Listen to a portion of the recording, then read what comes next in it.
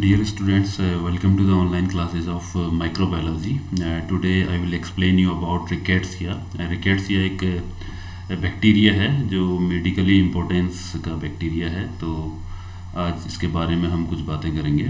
तो शुरू करते हैं आज का लेक्चर सो रिकेट्सिया है क्या? एक्चुअली रिकेट्सिया एक ग्राम निगेटिव बैक्टीरिया है जो नॉन मोटाइल है और नॉन स्पोर फॉर्मिंग बैक्टीरिया है. It is highly pleomorphic pleomorphic मतलब है कि ये इसके कई फॉर्म्स हो सकते हैं लाइक ये कुछ रॉड शेप के होते हैं, कुछ कोकाई होते हैं, कुछ थ्रेड लाइक स्ट्रक्चर भी होता है। तो इनका जो diameter from point one micrometre to four micrometre तक का भी हो सकता है। और ये ऑब्लिगेट इंट्रासेलुलर पैरासाइट है। ऑब्लिगेट मीन्स अपने होस्ट के बिना ये सर्वाइव नहीं कर सकता है। और इसका होस्ट पर्टिकुलरली कुछ इंसेक्ट्स होते हैं। या हायर वर्टिब्रेट्स होते हैं तो ये अपनी लाइफ साइकिल दो होस्ट में पूरा करता है। तो रिकेट्सिया से group of bacteria that are obligate intracellular parasite of eukaryotic cell तो यूकैरियोटिक सेल मीन्स ये जो आपके कुछ इंसेक्ट्स या कुछ वर्टिब्रेट्स में ये पैरासिटिक लाइफ जीता है। और rickettsia can not grow outside the host क्यों? Because they have leaky membrane तो उनकी मेम्ब्रेन काफ़ी लीकी मेम्ब्रेन होती है तो वो outside the host unable to survive ये जनरली गट लाइनिंग में ऑर्थोपोडा के गट लाइनिंग में या मिड गट लाइनिंग में होते हैं, जैसे टिक्स फ्लीज लाइस जो जू या पिस्सू होते हैं, आपने सुना होगा तो उनके मिड गट में ये एज ए पैरासाइट रहते हैं.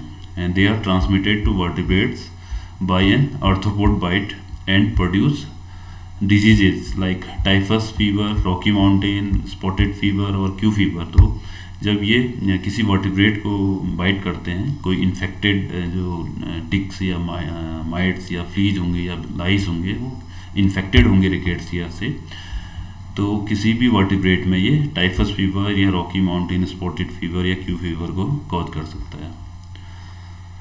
तो आप इसके रिकेट्सिया नाम से कंफ्यूजन आपको नहीं होना चाहिए क्योंकि रिकेट्स एक डिज़ीज़ है जो आपका विटामिन डी की डेफिशिएंसी से होती है but rickettsia is a gram negative bacteria जो क्यू फीवर टाइफस फीवर या रॉकी माउंटेन फीवर को कॉज करती है।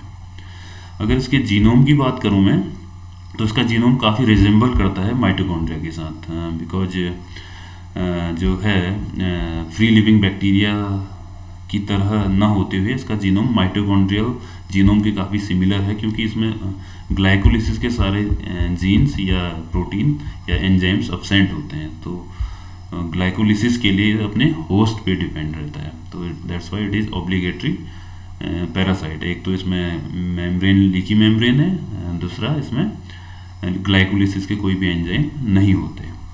और इसका जीनोम वन मिलियन के बेस पेयर होते हैं इसमें, यानी कि दस लाख, ग्यारह लाख के आसपास बेसेस हैं। और केवल एट थर्टी फोर जीन अभी तक नोन है इसके रिकेट्सिया के अब इसकी लाइफ साइकिल देख लेते हैं। तो मैंने जैसे पहले बताया कि इसके दो होस्ट होते हैं। एक तो होता है आपका टिक्स या लाइस या जू या पिस्सू। ये आप आप देख सकते हैं कि ये निम्फ है इन्फेक्टेड निम्फ यानी कि एक लार्वल स्टेज है। इंसेक्ट की तो जब ये बाइट करता है किसी हेल्दी रोडेंट को तो ये इसका वर्टिब्रेट होस्ट को मतलब ये वर्टिब्रेट होस्ट है। तो ये इंजेक्ट कर देता है रिकेट्सिया के, इसके होस्ट के अंदर, और होस्ट में ये डिवाइड होते रहते हैं रिकेट्सिया और फर्दर कोई अडल्ट टिक इस माउस को बाइट करता है और ब्लड मील लेता है तो ब्लड के साथ साथ रिकेट्सिया भी इस अडल्ट टिक के अंदर आ जाते हैं।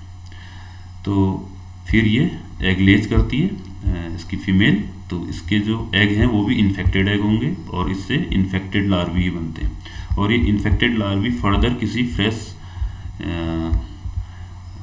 वर्टिब्रेट होस्ट को लाइक यहाँ पे चूहे को बाइट करती है तो ये इसके अंदर फिर से रिकेट्सिया को इंजेक्ट कर देती है और ये माउस रिकेट्सिया से इन्फेक्टेड हो गया। और फर्दर कोई निम्फ इसको फिर बाइट करता है इस चूहे को तो ये निम्फ इसके अंदर से रिकेट्सिया लेता है और ये किसी फ्रेश रोडेंट को फिर से रिकेट्सिया को ट्रांसफ़र कर सकता है।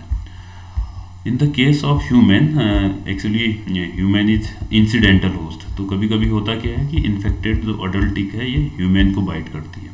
तो ह्यूमन को बाइट करने से इस ह्यूमन में रॉकी माउंटेन स्पॉटेड फीवर हो सकता है या टाइफस फीवर हो सकता है। तो ये कभी रेगुलर नहीं होता बट इंसिडेंटल होस्ट है ह्यूमन अगर हो गया, इसको बाइट कर लिया किसी इन्फेक्टेड टिक्स ने तो ये it can cause Rocky Mountain spotted fever तो रिकेट्सिया की दो स्पीसीज हैं, दो अलग अलग डिज़ीज़ कॉज करती हैं। पहला है रिकेट्सिया रिकेट्सी जो आपका Rocky Mountain spotted fever cause करता है, और पर्टिकुलरली ये नॉर्थ अमेरिका में ज़्यादा होती है डिज़ीज़ और इसको रॉकी माउंटेन स्पॉटेड फीवर इसलिए कहते हैं कि सबसे पहले जो डिज़ीज़ खोजी गई थी ये तो रॉकी माउंटेन स्टेट है यूएस में तो वहाँ खोजी गई। तो that's why it is called Rocky Mountain spotted fever और स्पॉटेड फीवर इसलिए कहते हैं कि उसमें जो इन्फेक्शन होता है रिकेट्सिया का, वो डैमेज कर देता है ब्लड वेसल्स को।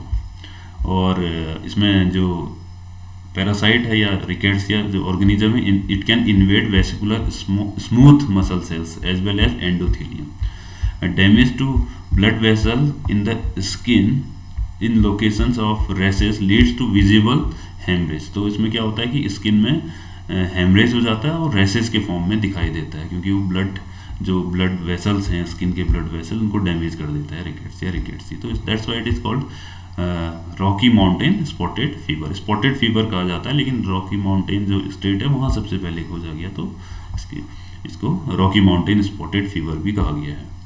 उसके बाद दूसरा है typhus fever typhus fever rickettsia की दूसरी स्पीसीज रिकेट्सिया टाइफी के कारण होता है, और ये किसी फ्ली इन्फेक्टेड फ्ली के काटने से होता है, और इसमें actually the flea are infected by the transovarian transmission और by feeding on an animal with rickettsiae circulating in the blood तो rickettsiae are set from flea in the feces तो जो इसमें एक्चुअली थोड़ा सा अलग है रिकेटसिया रिकेटसी से इसकी लाइफ साइकिल इसमें होता क्या है कि जो रिकेटसिया के सेल्स जो सेल्स हैं वो इंसेक्ट के या फ्ली के फीकल मटेरियल के थ्रू बाहर निकलते हैं।